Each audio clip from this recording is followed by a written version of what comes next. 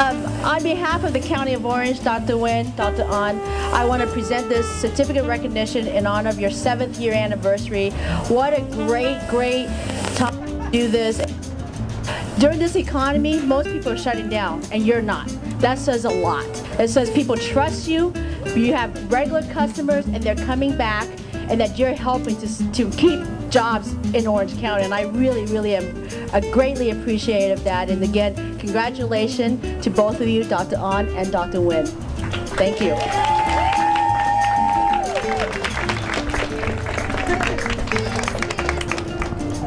And the winner is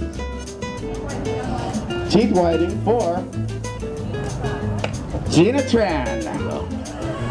And the next winner is. Hi. Did you get your name in here? You did? Seriously? Okay. Kathy Stott. Kathy Stotts. She want a massage. She got a massage. Linda Kroll. Linda Kroll. Are you here? Linda? Is that you? No? You just won. You just got a massage. Congratulations.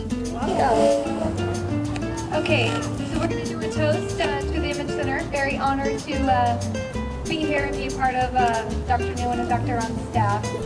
Um, go ahead and raise your glasses, everyone. To many wonderful years to come in business.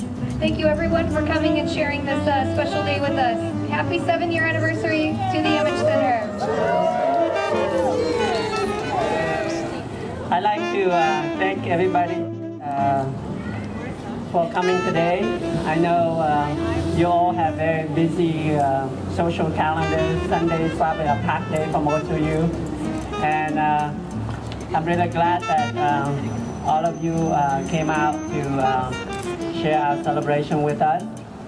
And I know that from uh, seeing me dance, you probably think that I'm not religious at all, but uh, we're regular churchgoers. And um, I know some of you are not Christian, but um, we're gonna ask our uh, pastor, Pastor Dan Smith, to offer a prayer for us. Um, so uh, before we cut the cake, uh, Pastor Dan Smith, yes, please. you let's bow our. Our good Father in heaven, I just thank you for this moment. I thank you for these people that are the friends of all of us. We congratulate what they have accomplished here and just to pray for your blessing upon what they will accomplish in the future.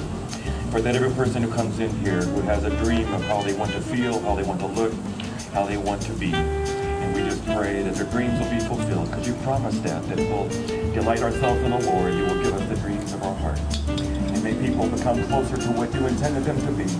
And they will find themselves, Father, partly in this place.